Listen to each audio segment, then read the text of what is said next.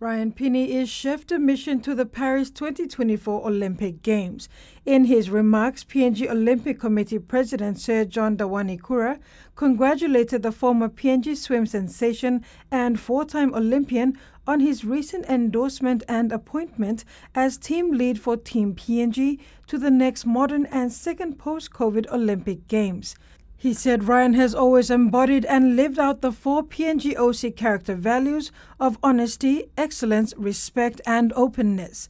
His sporting accolades, character, and commitment to sport and life after sports for young athletes unquestionably make him the ideal candidate to lead PNG to its 13th Olympic Games. Sir John added that having Pini lead the 2024 Team PNG delegation to Paris is a testament and culmination of his efforts during and after his sporting career.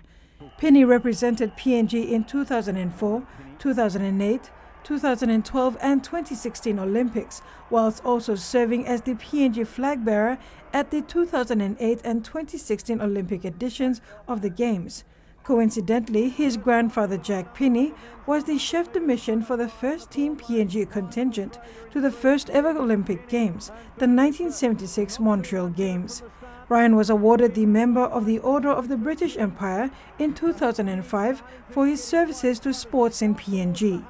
In addition, he has also been awarded the PNG SB Sportsman of the Year award for the years 2003 to 2005, 2011 and 2015 in addition to him being awarded the PNG SB Sports Award Lifetime Achievement Award in 2008. Team PNG have a great mentor on their side as they draw from his vast experiences, ramping up their preparations to Paris France Games 2024. Thanks for watching TVWAN News. Please like and subscribe, and don't forget to hit the notification bell to stay up to date with the latest news.